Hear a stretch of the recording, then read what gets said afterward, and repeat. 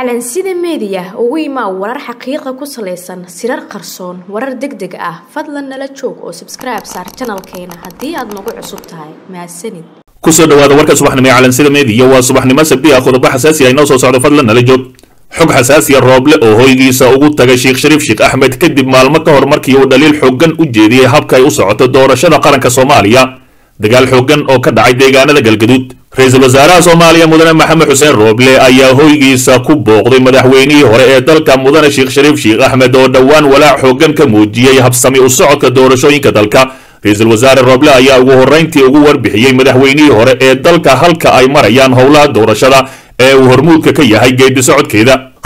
Sheekh shariif sheekh axmed ayaa sidoo kale waxay ka wada hadleen dardargelinta howlaha doorashooyinka dalka oo dhowr jeer uu ku yimid dib u dhac xooggan oo ay ka dayriyeen mucaaradka.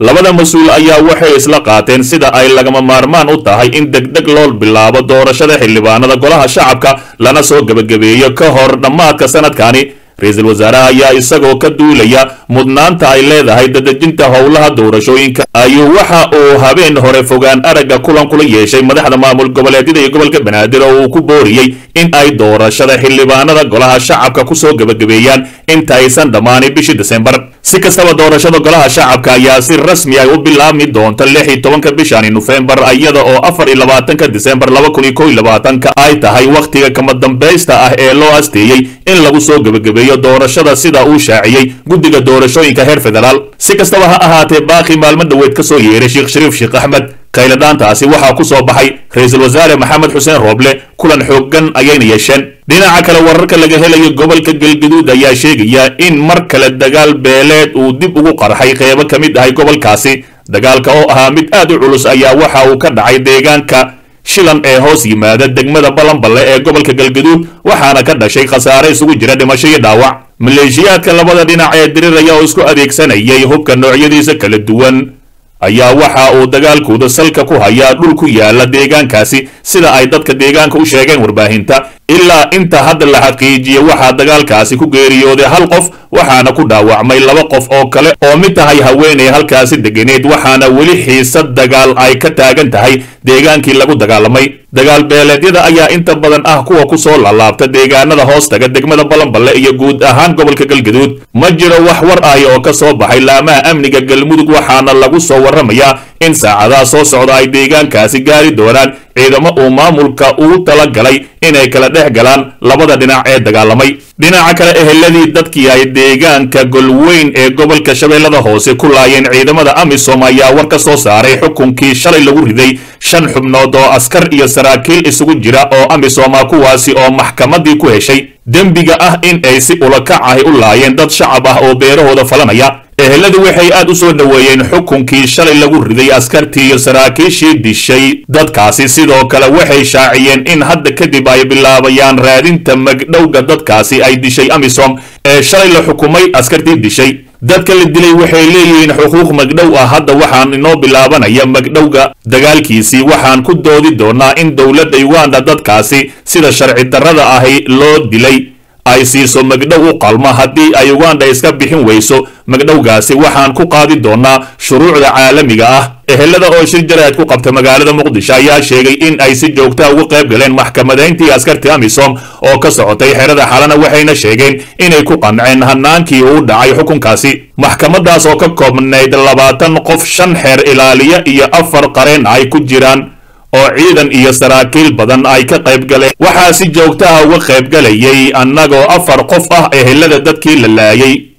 Ka mid ah ayuu yidhi afhayeenka uu hadlayay dadkaasi. Maxkamadda ayaa shantii bishaani ka furantay xalane waxaana doraad oo khamiis aheed la soo saaray habka dembiga loogu helay askarta iyo saraakiishii amisom iyadoo shalay oo jimco ahayd lagu dhawaaqay xukunka raggaasi lagu helay dembigaasi.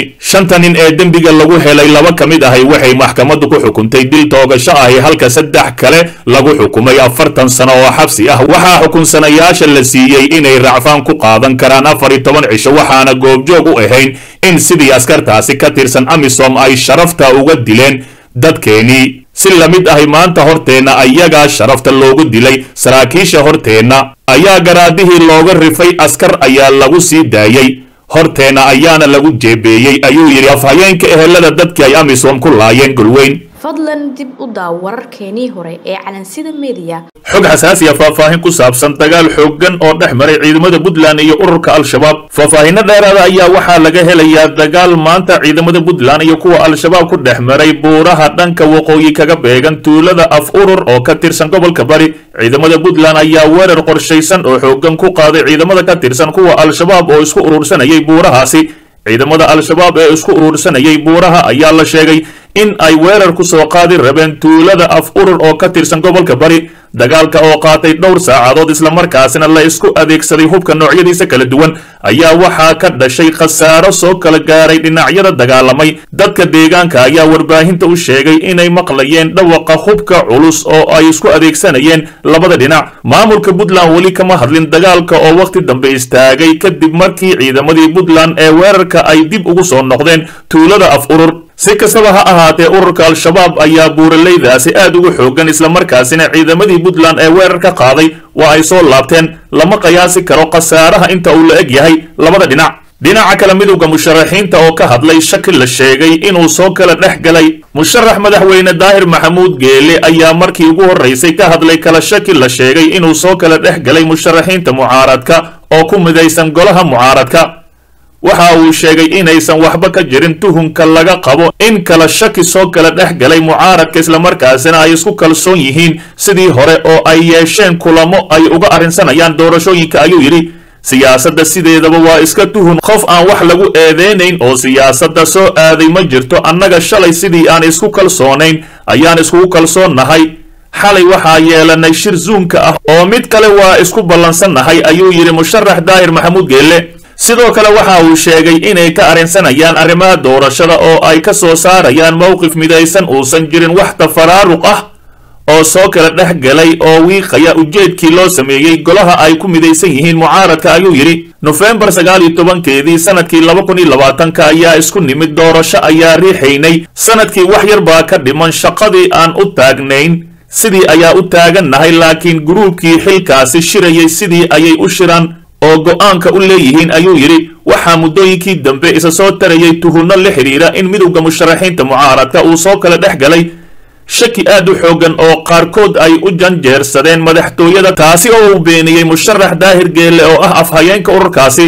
Dhinaca kale walaac laga qabo doorashada golaha shacabka oo soo kordhaya iyo digniin la soo saaray ururada bulshada rayidka soomaaliyeed ayaa walaac xooggan ka muujiya doorashada golaha shacabka oo dhowaan si hordhac ahi uga bilaabatay magaalada muqdisho waxayna ka digeen nidaamka ay ku bilowdeen doorashooyinkaasi. Qoraal ka soo baxay ururada bulshada rayidka soomaaliyeed ayaa waxaa lagu dalbaday in doorashooyinka golaha shacabka ay noqdaan kuwa hufan oo daafuran islamarkaasina aan ka hor imaanaynin habraacyada loo sameeyey doorashada iyo heshiisyadii la gaaray.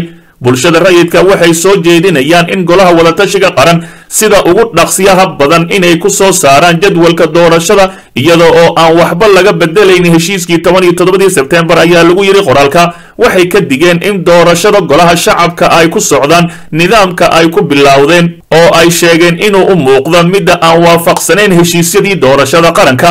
Waxaa walwal badan ka qabnaa suuragalnimada in la baalmaro habraacyada loo dejiyey doorashooyinka dalka. Sidoo kale waxay soo dhoweeyeen baaqii ra'iisul wasaare maxamed xuseen rooble oo uu jeediyey guddiga hirgelinta doorashooyinka ee labada heer ee ku aadan in sida ugu dhaqsiyaha badan loo bilaabo doorashooyinka golaha shacabka xarunta la socodka doorashooyinka ee bulshada rayidka waxay bogaadinaysaa dadaalada lagu xaqiijinayo hubinta qoondada soddon bersanti ee haweenka soomaaliyeed ay ku leeyihiin matalaada golaha shacabka federaalk soomaaliya ugu dambayntii waxay ugu baaqeen in mas'uuliyiinta dalka iyo guddiyada maamulka doorashooyinka inay u hoggaamsamaan habraacyada lagu xaqiijinayo matalaada haweenka oo ay sheegeen inay muhiim u tahay geedi socodka doorashooyinka dalka. Dhegaystow ogow haddaadan xalka qayb ka noqon waxaad qayb ka tahay dhibaatada dalka